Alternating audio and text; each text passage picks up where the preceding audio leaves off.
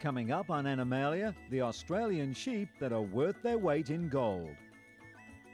Dinner time at this Thai temple is a very catty affair.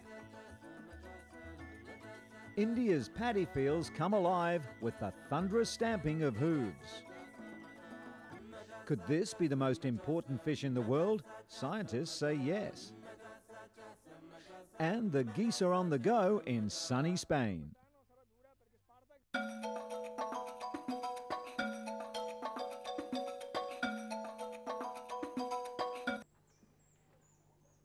Barely two years after he was born, captive Philippine eagle Kabayan is set to be released next month from his cage at the Philippine Eagle Center in Malagos, Davao, southern Philippines.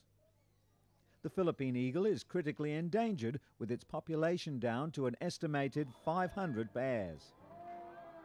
Aside from breeding and research, the centre and its volunteers regularly hold bird shows at a nearby bird park to educate the public.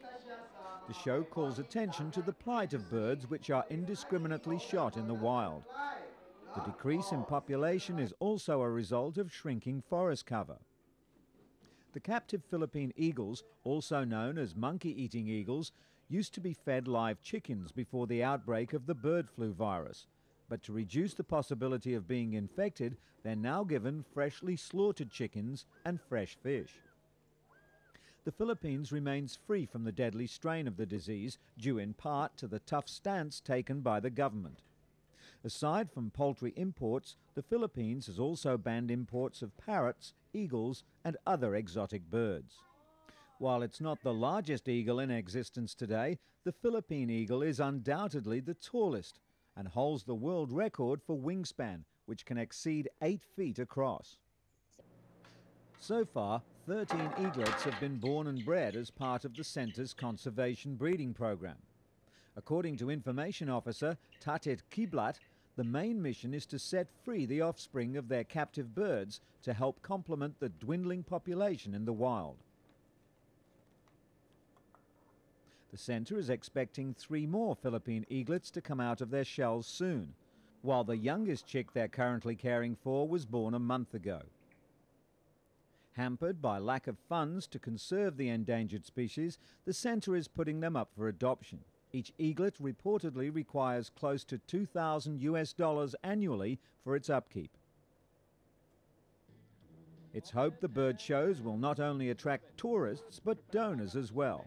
The sooner the centre can afford to keep the Philippine eaglets that it breeds, the sooner they can release the rare birds into the wild.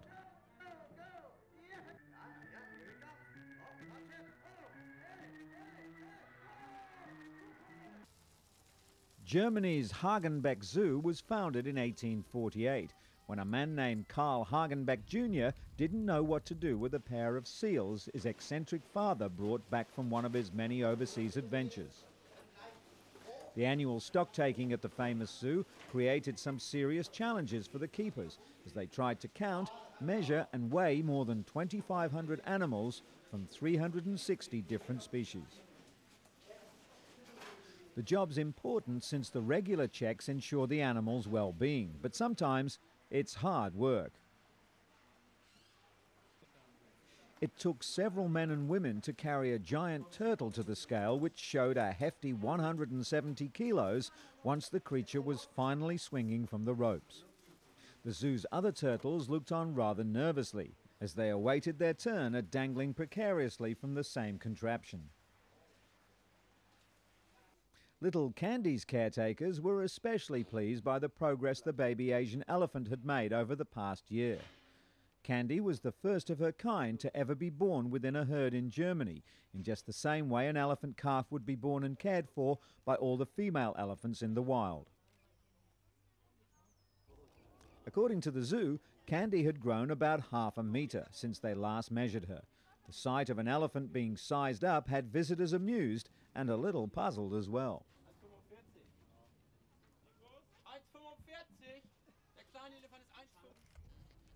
The llama count came next, and the gentle pack animals made life easy for their keeper. llamas are such curious creatures that they were happy to just stand in one spot and watch him do his duty. Unfortunately, the same couldn't be said for the flaming flamingos. Their poor minder kept losing track, and when one of his colleagues suggested that he count their legs and divide by two, he wasn't very impressed. Flamingos have longer necks and legs in proportion to body size than any other kind of bird. They're herbivorous, surviving solely on blue-green algae with a filter feeding mechanism that's more similar to the southern right whale than any other animal.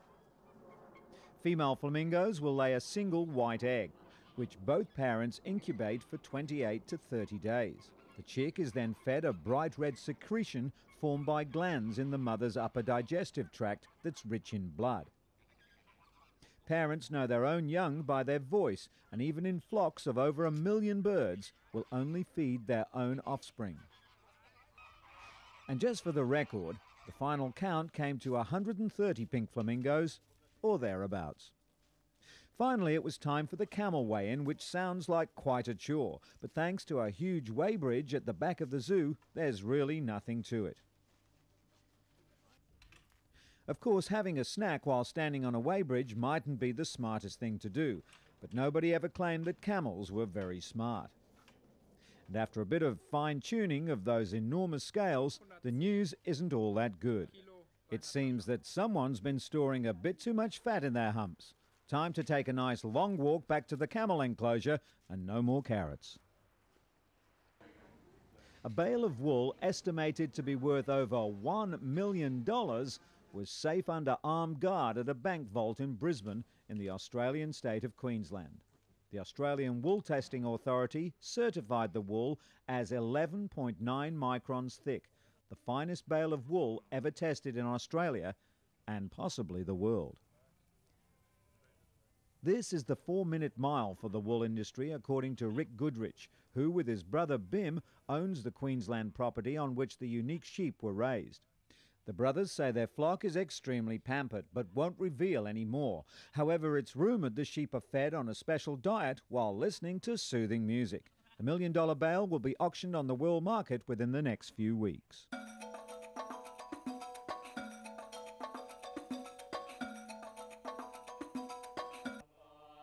For decades, a group of Buddhist monks at the Ang Thong Temple, 100 kilometres north of Bangkok, have taken in stray cats, carrying them home to feed and shelter them. Monks at the temple are not concerned that the deadly bird flu virus could harm their feline friends. To prove their point, a dozen monks sat down with over a hundred stray cats at a banquet lunch consisting of fish, rice, and beef, although chicken was noticeably absent from the menu. The temple spends about 900 baht, or 220 US dollars a month, to feed the stray cats, but said it was not enough and therefore cats were hungry and would still hunt the local wild birds. Only recently, three domestic cats died in Thailand of the same deadly bird flu virus that's killed at least 22 people and 100 million chickens in Asia.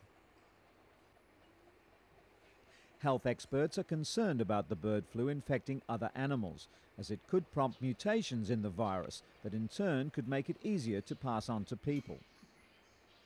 Prime Minister Shinawatra asked pet lovers to stay calm, but urged them not to feed stray or domestic animals uncooked chicken.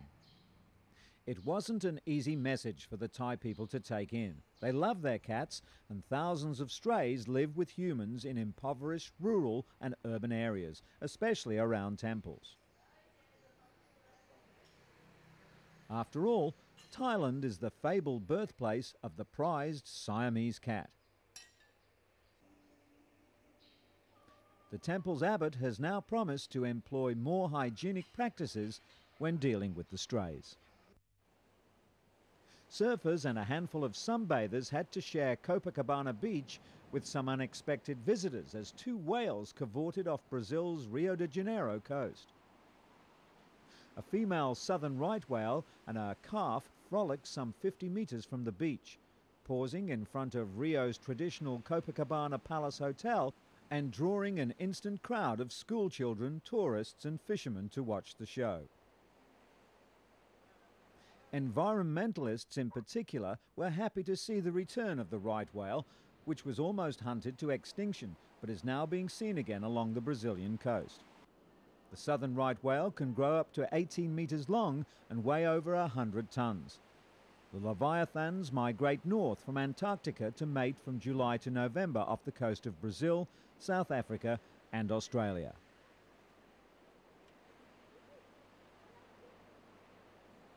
Lifeguards circle the mother and calf in boats, trying to draw them away from the beach. Other whales have run aground here before, and they're keen to avoid that from happening again, especially as so few remain in our oceans. As summer begins to sizzle in India and Onam, the harvest festival, gets underway, the paddy fields are soon overrun by locals and their strongest, swiftest bullocks. Usually busy ploughing these fields, the men and their beasts are preparing for the Maramadi or bullock races, which have become synonymous with the Karkur region near the city of Cochin. The ox racing is the Formula One of the pre motor car era, except here they measure bullock power, not horsepower. In no time at all, the murky fields come alive with the thunderous noise of hooves. One charge and a thrilling 80 metre sprint through mud and water begins. The teams comprise of two bullocks and three men to control them. One of the handlers needs to run ahead of the animals to guide them along the track. Each of the 50 or so teams gets to run three times, and the average time decides who the eventual winner will be.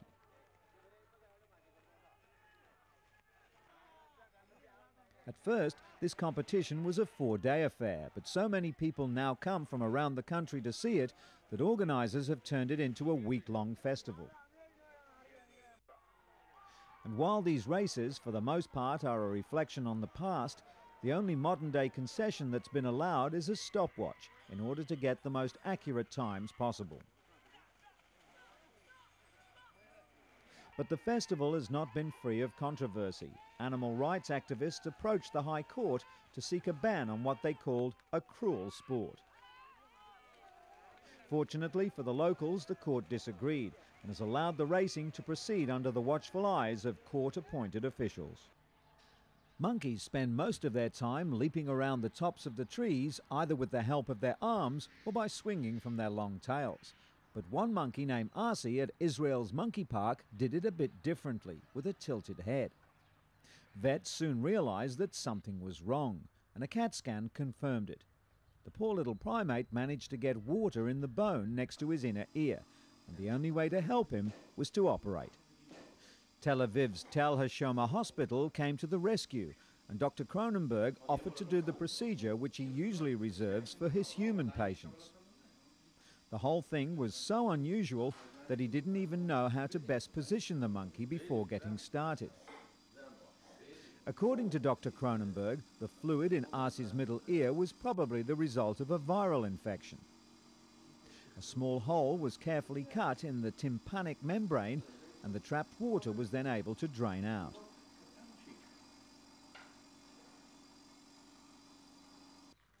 The monkey has since regained his balance and is recovering nicely, but still being kept in isolation until he fully heals. It won't be long before he rejoins his family and friends back at the monkey park.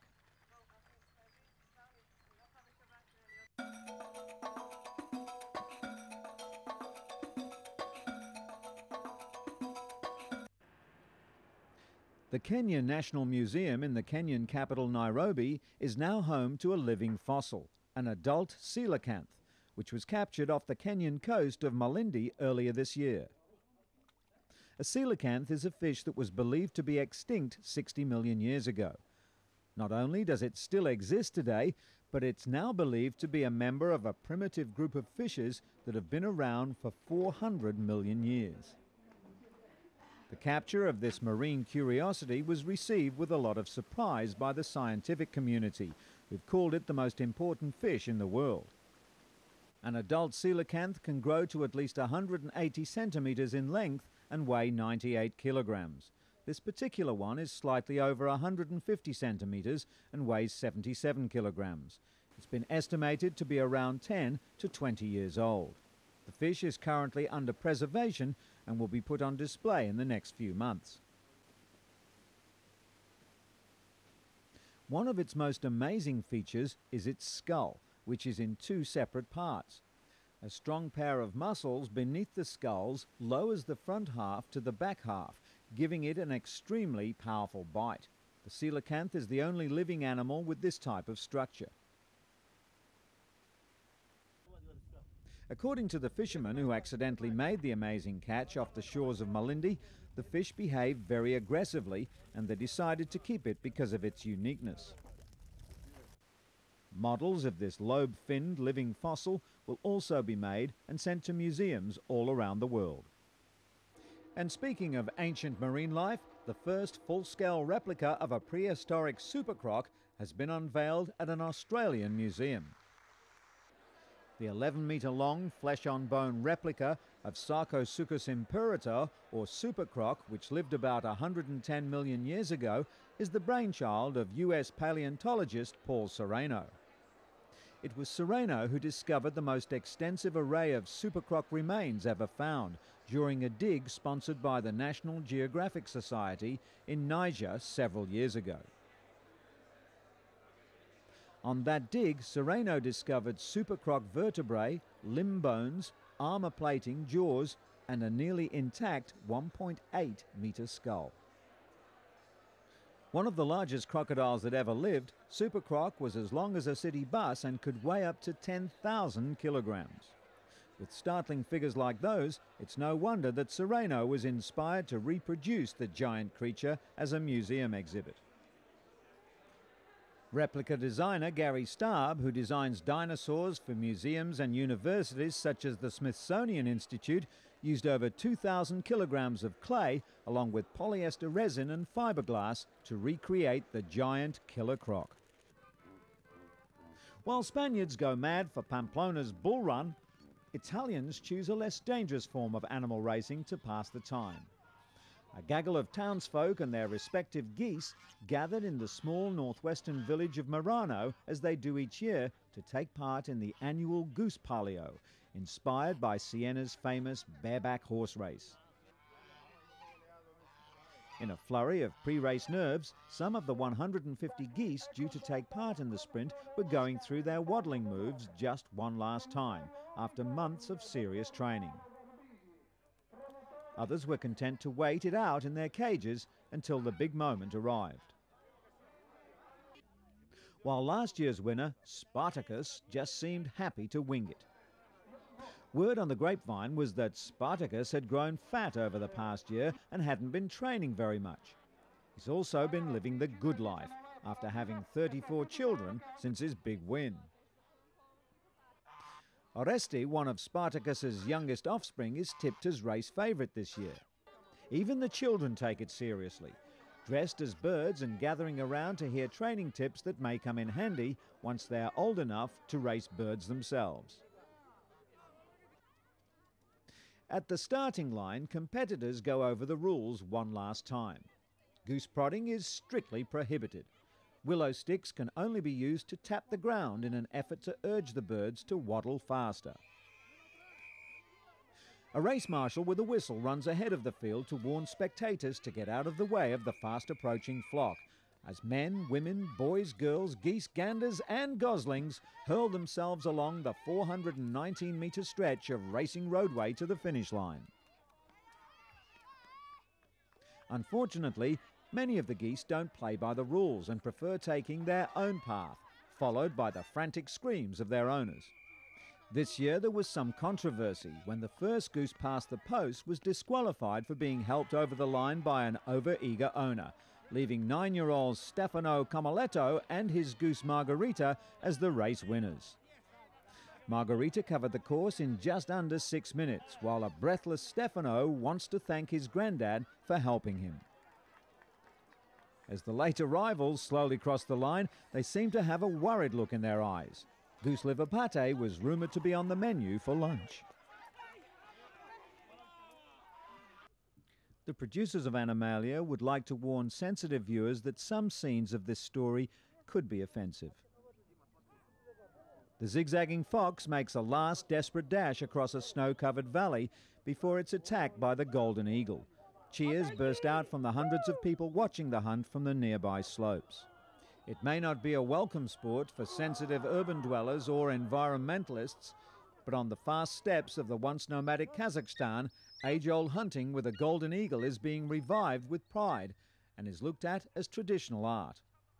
23 year old Altai Muntikiov has been training his golden eagle for a year. He took the bird when it was small and raised it. Altai named the bird Daul, which means whirlwind. The bird is just two years old. It's well fed and well bred. Altai first fed the eagle by hand, then trained it to chase meat wrapped in fox fur.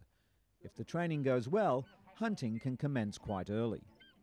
Altai is among dozens of hunters who take part in the annual eagle hunting event in Issyk, about 40 kilometers from capital Almaty. The falcons, harriers, and golden eagles get through their first exercise quickly. They chase down hares that are released one by one into the snow covered field. Most of the animals are doomed. Nearly all of the participants in the hunting are men, but this is gradually changing. Makpal from the city of Karaganda is the first woman to take part in the activity. She's only 15 and says her father taught her the art of eagle hunting. She's neither afraid of horses nor of the golden eagle, having been in the saddle since three. She was named overall winner of the first eagle hunting contest last year, defeating much older and more experienced men. But Makpal failed to win this year.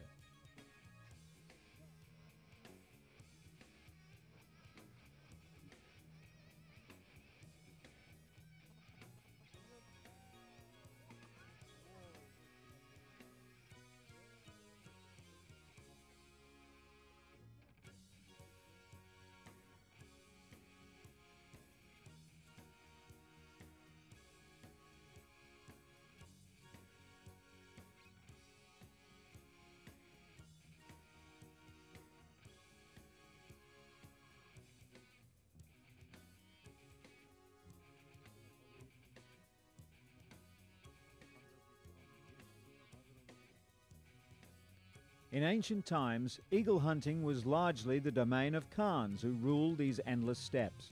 But the sport was nearly forgotten under harsh Soviet rule. Now, after gaining independence in 1991, Kazakhstan is trying to bring back some of its lost but cherished past.